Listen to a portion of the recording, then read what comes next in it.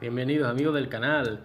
Parece que hay una campaña de desprestigio en contra de Adara Molinero y es que eh, está claro que es la favorita del concurso, pero Telecinco y a Mediaset no le interesa que sea ella la ganadora. Entonces ya han empezado en Socialité y en programas mm, de Telecinco eh, en contra de, dicha concursante. Eh, sí es cierto que últimamente está teniendo una relación más estrecha de amistad con Gianmarco, ¿vale? Pero yo, mm, sabiendo cómo es ella, que lo conocemos de otro concurso y demás, y, que ella es una persona abierta, me refiero abierta en el sentido de que, de que hace amistad, habéis visto, está con Joao ahora mismo muy bien, eh, con Estela también. Eh, a ver, yo no veo más de lo que están queriendo vendernos. Entonces creo que un, juego muy sucio que está haciendo Mediaset por parte eh, de la organización eh, para desprestigiar el concurso de Adara, para desestabilizarla, para que veamos que está haciendo algo mal, para que veamos que le está poniendo la cornamenta a su marido Hugo. Así no es, yo creo que simplemente es una amistad. Eh, cuando lo veamos, cuando la veamos debajo de un edredón, como ha hecho Kiko con Estela, o cuando veamos algo raro, un beso, o, yo qué sé. Es que incluso si se dieron un abrazo, que todavía no se lo han dado, eh, en plan amigos, porque estén llorando, porque les haya pasado algo, porque esté de bajona, yo creo que es algo normal.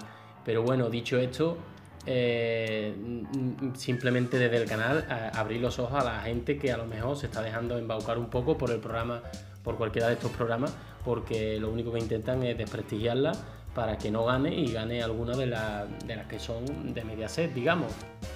Ya sea Mila Chiménez eh, o cualquiera que, esté ligada a Telecinco o incluso la propia Alba Carrillo, ¿no? Eh, que estarían por delante de Adara, evidentemente.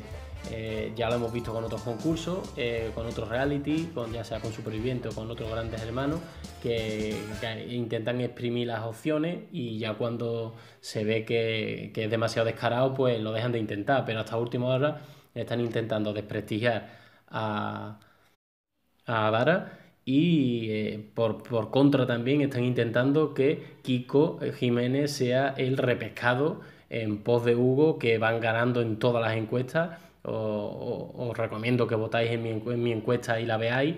Va ganando por goleada Hugo Castejón a Kiko Jiménez. Y nada, por manda están queriendo que, Kiko Jiménez sea el que entre y entrará seguramente a dedazo de, de Basile. Y es lo que hay, es lo que estamos acostumbrados ya uno se resigna a qué es lo que hay, pero sí que es cierto que en mi canal se va a hablar las cosas claras y, por supuesto tendréis eh, la, información de forma objetiva. Así que nada, por favor, decidme qué pensáis, tanto de que Kiko Jiménez sea el que seguramente a dedazo vaya a ser el elegido, pese a que las encuestas lo dan como por, perdedor en pos de Hugo, y la campaña de desprestigio a Dara, que es lo que parece, porque a mí me parece bastante feo y juego sucio. Así que nada, nos vemos en el siguiente vídeo. Un saludo a mis suscriptores y suscriptoras desde Enrique García YouTube.